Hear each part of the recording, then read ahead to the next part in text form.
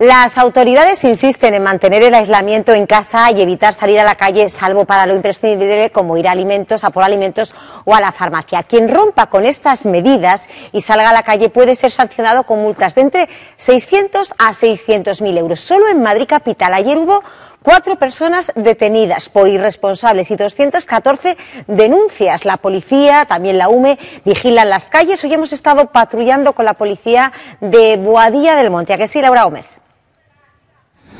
La policía lo que está haciendo hoy sobre todo es informando, por ejemplo, a esas dos mujeres que van por la calle, no se puede ir de dos en dos, solamente se puede salir a la calle para ir a trabajar o para algo que sea absolutamente indispensable.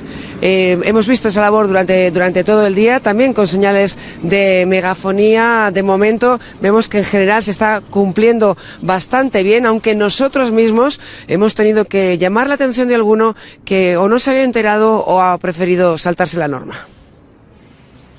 Por increíble que parezca, hay quien no se ha enterado. ¿No sabe usted que estamos todos obligados a estar dentro de casa? Ya lo sé, pero he venido a buscar a la mujer que está trabajando.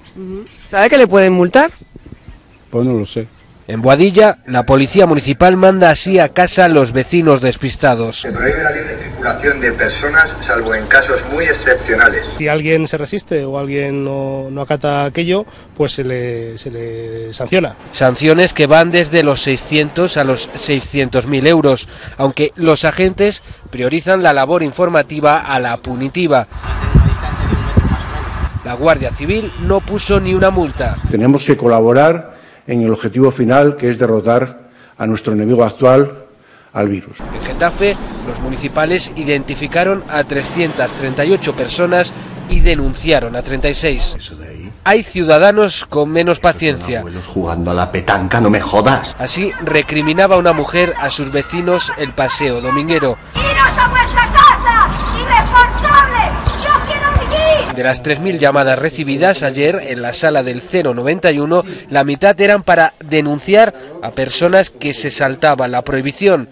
Puente de Vallecas y Centro fueron los distritos donde más se incumplió la cuarentena.